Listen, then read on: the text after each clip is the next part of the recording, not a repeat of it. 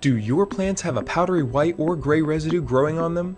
If so, your plants could be infected with powdery mildew. Powdery mildew is a fungal disease that attacks plants in the form of a powdery white residue on plant leaves and stems. Why is it a problem? Powdery mildew can cause the leaf of your plant to turn yellow and die. Not to mention it can stunt plant growth and distort buds, blooms, and fruits. Powdery mildew affects a wide range of plants, fruits, flowers, and vegetables. The wind carries the powdery mildew spores to nearby leaves, increasing the number of plants affected. Soon your entire crop could be affected. If not stopped in time, every plant would have to be destroyed. This leaves growers with one important question. How do I stop it before it's too late? The answer is simple. No powdery mildew. It can work anytime from seedling to harvest.